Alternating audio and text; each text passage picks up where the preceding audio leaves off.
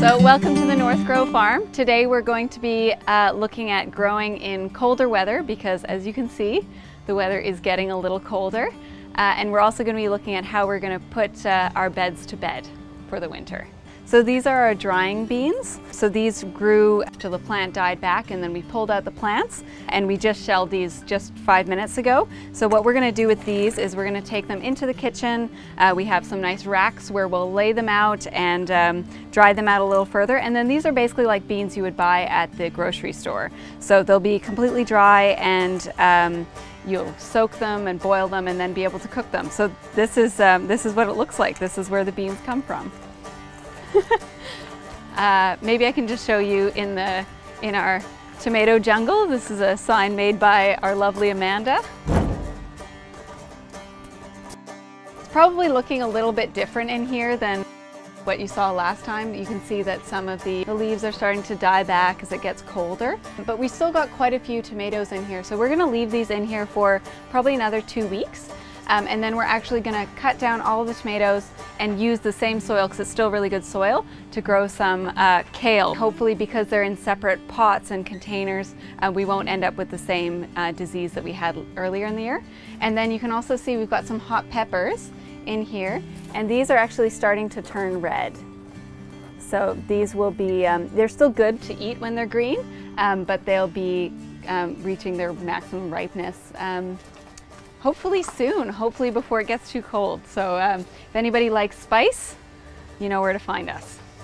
It really uh, feels like fall today. Okay, so just because it's the end of the season, I think a lot of people think of um, growing season as you know ending August 31st, but that's not true at all. There's some great stuff that you can grow in the shoulder season.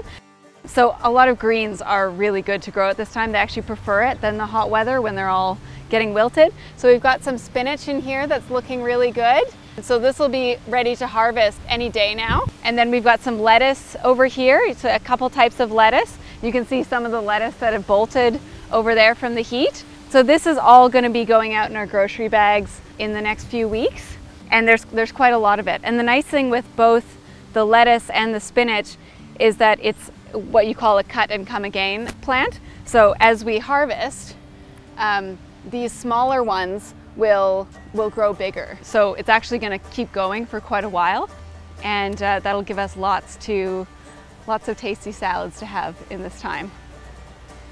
Down here we have our sunchokes, our Jerusalem artichokes. They do have an edible root at the bottom it's not super common for people to eat it. You can eat it. But what's really nice about them is that they're one of the last things to bloom. So this is all, you can see it's just kind of starting to bloom and we're at the end of September, early October, and these will be blooming through October. So it's kind of nice. It's a last bit of color in the garden before the winter. The other crop that is quite happy at this time of year some root vegetables. So we have some radishes and these are starting to get nice and big.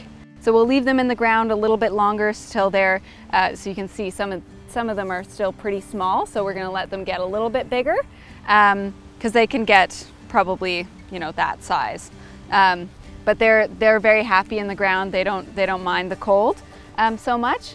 Uh, and we will only have to kind of worry about them when the frosts start. Uh, and I think we've got a few more weeks on that. We have white turnip, and these are kind of different than when I think of a turnip, I think of like a rutabaga, like quite a big and kind of tougher vegetable. These are really sweet actually. You can slice them up and have them raw in a salad and, and use the greens as well. These are pretty tender. But again, these will get a bit bigger. So we went through the other day and thinned them. See these three really close together. So we'll take out this middle one because there's no way these two would grow if they had somebody in the middle. So hopefully these two will get even bigger till they, till they meet and, um, and these ones are great to eat right now. And then we have more spinach and lettuce here. This lettuce we just planted yesterday and the um, and this is Swiss chard and this also is looking a little sad because we just planted it yesterday, transplanted it from seedling. But these are also really happy in the cold, so um, they should be good uh, all the way down to, to sort of frost temperatures. And we're really lucky to have a greenhouse, even though it's unheated, it'll keep us going into the winter. What else can I show you? These are tomatillos. They're actually a relative of the gooseberry. You can see it kind of looks a little similar. And despite the name, they don't really taste a lot like tomatoes, but you can use them to make things like um, salsa verde or shakshuka.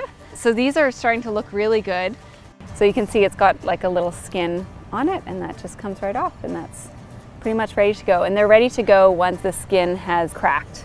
We actually had one of our volunteers say he just picked all the ones that were on the ground and he made a, a great uh, recipe with them. So I think we're gonna harvest these and also see if anybody is brave enough to, um, to take some of these home.